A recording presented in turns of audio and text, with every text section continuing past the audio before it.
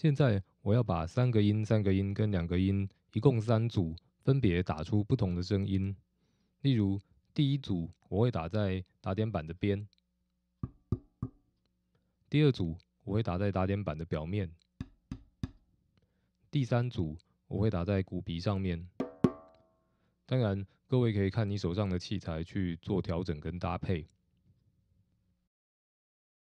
一、二、三，一、二。三一二一二三一二三一二一二三一二三。